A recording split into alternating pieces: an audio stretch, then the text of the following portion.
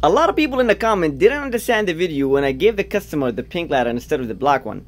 Let me tell you how a customer usually react when I give them a pink lighter. Uh, how's it going, man?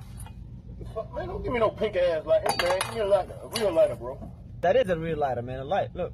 Bro, I'm talking. Don't give me no pink ass lighter, bro. I'm a man, man. Don't give me no pink ass lighter. Give me a lighter, bro. Alright, man. Chill out, man.